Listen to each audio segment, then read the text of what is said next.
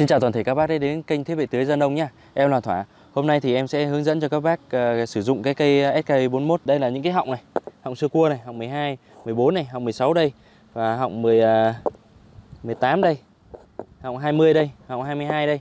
Thì thường thường như là các bác xài phân thể 4, phân thể 5 uh, Phân thể 4, phân thể 5, phân thể 6 Nếu như mà phân thể 6 mà ở gần ấy Thì các bác mới xài đến họng ờ, 18 hoặc 20 còn thường thường thì các bác chỉ xài đến học 16 thôi học 18 thôi. Thường thường như các bác ở gần ấy 10 phân thể 4 phân thể 5 mà ở gần khoảng cái tầm một quận thì các bác sử dụng họng 18 à, là kịch kim rồi. Còn nếu mà à, không thì các bác thường thường chỉ sử dụng họng 16 rồi đa phần ấy là chúng ta sử dụng họng 16 rồi và nếu mà ở trên xa thì chúng ta sử dụng đầu họng 14 nhưng chúng ta cũng không nên sử dụng họng 12 nhé họng 12 nó nhỏ quá thì um, vậy thôi nhưng mà cái độ nước nó không thông tơi. Ờ, khi mà xa quá thì các bác có nghĩa là bắt buộc ấy trong trường hợp bắt buộc thì chúng ta xài, xài 12 còn thường thường thì chúng ta hài họng 16 trung bình nhất là chúng ta xài 16 còn gần máy thì chúng ta sử dụng họng 18 hoặc là xa thì chúng ta sử dụng họng 14 thường thường là như thế thôi. Còn họng 20 với họng 22 thì ít nhất phải phân thể 6 cơ hoặc là máy phân thể 5 ở gần cơ. À, hoặc là chúng ta dùng cái loại củ motor 15 ngựa mà kéo cái củ bơm phân thể 5 ấy mà ở gần ấy tầm 1 2 quận ấy, một quận thì chúng ta mới dùng cái học 18 hay học 20 học 22 nhé. À, học 22 thì bắt buộc là phải phân thể 7 trở lên rồi phân thể 7 mà cách khoảng cái tầm một quận đó hai quận đó. thì cái đấy thì chúng ta mới dùng cái họng 22 chứ còn thường thường như cái bếp SKB 41 này ờ, đã dùng cái phân thể 7 mới dùng hết rồi các bác nhé chứ không không dùng hết được. À, các bác cứ hỏi SKG 51 SKG 51 về phân thể 7 trở lên các bác nhé.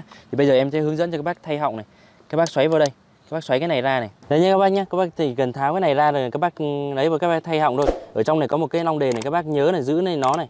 Đó chỉ cần đơn giản vậy thôi, cái họng này thay cực kỳ là dễ. Đó là cái khâu thay họng này nha các bác nhé để em mang em gắn cái chân kia, rồi em hướng dẫn cho các bác dễ sử dụng nhá.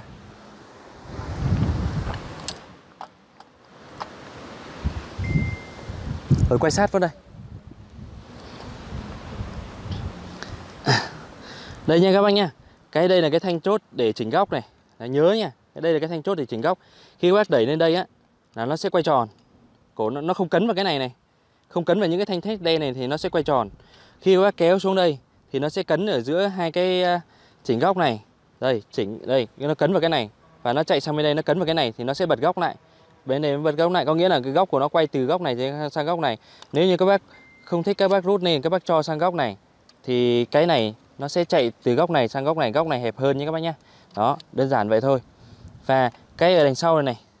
Cái đằng sau này, đây gọi là cái này này. Cái này này. Đấy, các bác thấy không? Cái này gọi là cái số mo này. Khi mà các bác kéo cái này xuống này để thì cái cổ này mới quay được. Khi mà quay đến cái đoạn này này, đến cái chỗ mình mong muốn này, bác rút xuống này. Đấy, bác thả ra là nó cấn này. Đó, cái này nó tụt lên. Thì cái cổ nó cứng ngắc à nó không quay được nữa. Cái cổ nó cứng ngắc, không quay được nữa. Khi mà nước vào ấy, thì nó chuyển động bánh răng này. Cái bánh răng này nó chuyển động thì nó chuyển động xuống cái số này. Bánh răng này nó chuyển động chuyển động xuống cái số này. Thế làm cái, cái nhông ở trong này nó làm cho cái cổ béc này nó quay. Nó quay quay đi. Đó. Chứ còn cái này là nó có tác dụng là đứng im nhé các bác nhé. Nó không có không có quay nhé. Khi nào mà rút xuống vậy để để chúng ta chuyển đến cái góc mà chúng ta mong muốn chỉnh đâu. Đơn giản vậy thôi. Và một cái nữa đó là khi mà cái đầu béc ấy thì nó luôn luôn là nó sẽ quay xuôi theo chiều kim đồng hồ. Khi mà xoay theo chiều kim đồng hồ thì cái cái xoay theo chiều kim đồng hồ nếu như các bác mà thấy mà cái cái bếp của mình mà ba các bác đẩy cái này lên rồi, đang là muốn nó quay tròn rồi, mà cái cái bếp của mình nó quay ngược kim đồng hồ ấy. Cái cái bếp nó cứ quay ngược ngược ngược lại chiều như này này. Đó, nó quay ngược ngược từ ngược kim đồng hồ ấy, ngược bên này ấy thì các bác, đơn giản là các bác bẻ cái này sang này.